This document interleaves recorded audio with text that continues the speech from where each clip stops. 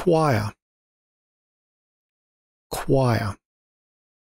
The choir usually meets each Thursday night in the hall to practice singing together. Tonight we had a pianist join us to play music.